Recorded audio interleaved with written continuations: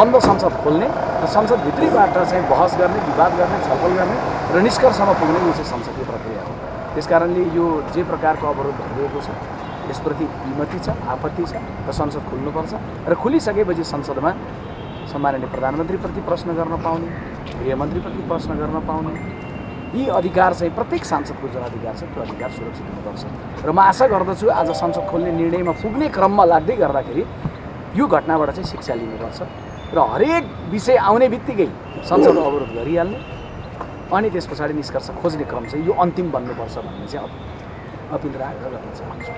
कुनै पनि संस्थाको नेतृत्व गर्नलाई चाहिने आवश्यक योग्यताहरू के हो? कुनै पनि संस्थाको नेतृत्व गर्नका लागि आवश्यक व्यक्तिगत पृष्ठभूमि छवि योग्यता के हो भन्ने विषय सार्वजनिक बहसमा आइरहनु पर्ने विषय नै होइन। किनभने यो आफैमा स्थापित चाहिँ एउटा परम्परा छ स्थापित चाहिँ विधि छ स्थापित चाहिँ चाहिँ प्रक्रियाहरू छन्। अब भगवान् गौतम बुद्धको एउटा अत्यन्तै सम्मानित थलो जुन थलोमा उभिँदै गर्दाखेरि यो देशभरि नै भगवान् गौतम बुद्ध यही माटोमा जन्मिनु भएको थियो भन्दै गर्दाखेरि हामी गौरव अनु अनुभूति गर्छौँ।